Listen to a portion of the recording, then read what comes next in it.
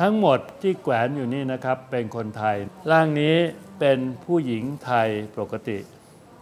ร่างนี้เป็นผู้ชายไทยปกติ ผู้หญิงไทยปกติก็สูงประมาณ 155 เซนผู้ชายก็สูงประมาณ 168 เซนนะครับเป็นปกติในสมัยก่อน เดี๋ยวนี้อาจจะสูงขึ้นนิดหน่อยแต่ไม่มากเท่าไหร่นะฮะ อันนี้เป็นสมัยต้องเรียกคนแคระเป็น The Wolfism นะครับ ส่วนอันนี้ก็คนไทยเหมือนกันเป็นใจการทิซึมก็คือคนที่มีต่อมที่สร้างไอ้โกรทฮอร์โมนมีโกรทฮอร์โมนมากเกินมากไปเกินไปนะครับ คนนี้เขาเสียท่านเสียเมื่ออายุ 20 กว่ากว่าๆบวชเป็นพระอยู่ ชื่อเล็ก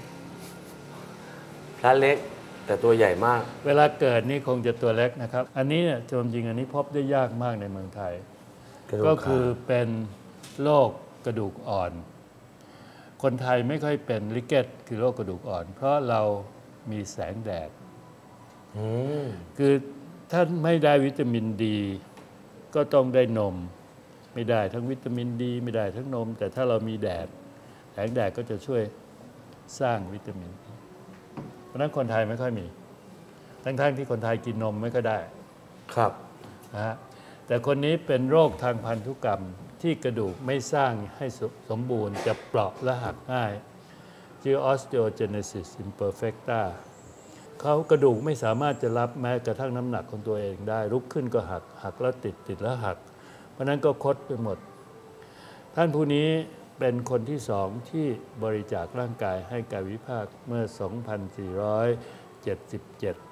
78 อะไรเหล่าๆนั้นนะฮะ เดี๋ยวจะให้ดูท่านแรกที่บริจาคร่างกายเอ่อที่เห็นอันนี้คนสำคัญ ท่านผู้นี้รู้จักไหมพระยาอุปกิจศิลปสาร คนที่สอนวิชา คนที่เขียนตำรา ไวยากรณ์ไทย อักขระวิธีวจีวิภาคว่ากยสัมพันธ์ คนที่คิดคำว่าสวัสดีให้ใช้